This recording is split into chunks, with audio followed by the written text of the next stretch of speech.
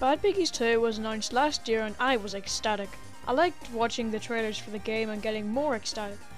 But as I watched them, I started noticing some things. Then I went through the videos again to see what I could find and find a few things. So I'm going to show them to your faces today. Also, very few people who watch my videos are actually subscribed, so if you like what you see, please subscribe. Let's get into it. So at the start of the video, I instantly found something new, and as the videos progressed, I started to notice that what this was used for. It's a new type of container for Ross or the egg. It, it, this is probably going to be used to carry things in your vehicle with less support than boxes, so it's probably going to be used to make you drive your vehicle very steadily or else the pig slash egg will fall out. That, that is what I also saw in the trailers. The pig in the container. Though, although this could possibly be just used for show, and literally like 4 seconds after that I saw something else new.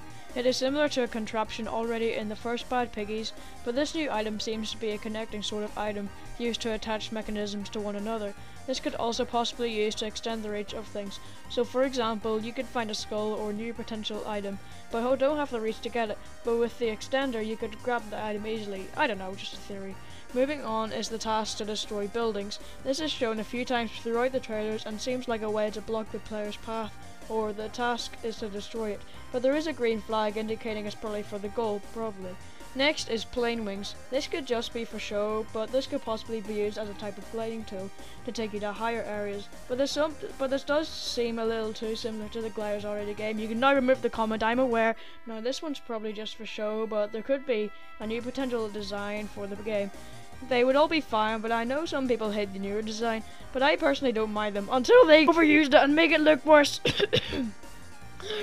anyway, the next thing I found was probably another thing just for show, but I saw blueprints. These could probably be a new item which will replace the super mechanic item, which would make sense, but I highly doubt I'm right about this one. After that, I found some sort of a digger. I'm not really sure what this could be used for, but it could probably be used to carry eggs around or to topple buildings.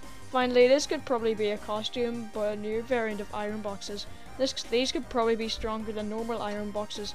On the cover for Bad Piggies 2, it shows the pig in space, meaning that they're probably going to be space-themed levels. I can already imagine the possibilities of the levels if they implement that. And that's everything. I hope some of these are true, and I hope some of them are just plain wrong. Anyways, fellas, I'll see you soon.